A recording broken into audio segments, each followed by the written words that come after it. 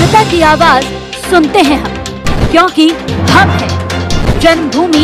महासचिव प्रियंका गांधी की हिरासत जारी। सीतापुर की पीएससी छावनी में हिरासत में है प्रियंका। पीएससी छावनी के गेट पर हज़ारों तादाद में कार्यकर्ता उमड़े। शहीद किसानों के नाम पर मौन रखकर दी श्रद्धांजलि। मोदी जी नमस्कार। मैंने सुना है कि आज आज़ादी का अमृत उत्सव मनाने के लिए आप लखनऊ आ रहे हैं। मैं आपसे पूछना चाहती हूँ कि आपने ये वीडियो देखा है?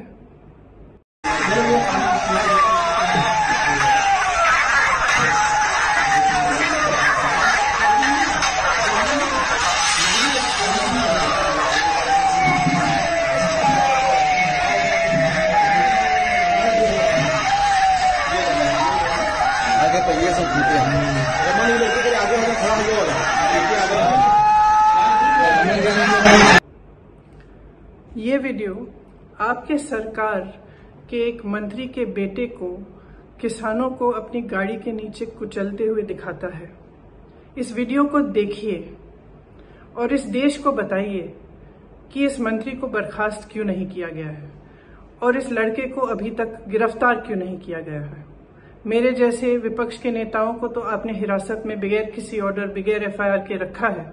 मैं जानना चाहती हूँ कि ये आदमी आज़ाद क्यों है। आज जब आप आज़ादी के अमृत उत्सव की महफिल में मंच पर बैठे रहेंगे मोदी जी तो आप याद करिए कि आज़ादी हमें किसानों ने दिलवाई। आज भी इस देश की सुरक्षा सीमाओं पे किसानों के बेटे करते हैं। किसान महीनों से त्रस्त है, अपनी आवाज़ उठा रहा है और आप उसको नकार रहे हैं। मैं आपसे आग्रह करती हूँ, लखीमपुर आइए ना।